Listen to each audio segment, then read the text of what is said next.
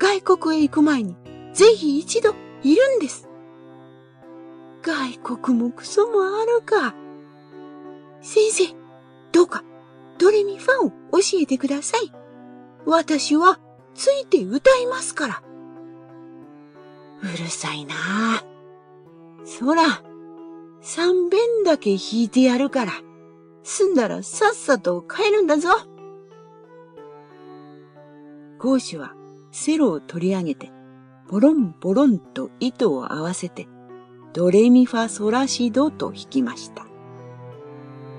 するとカッコウは慌てて羽をバタバタしました。違います、違います、そんなん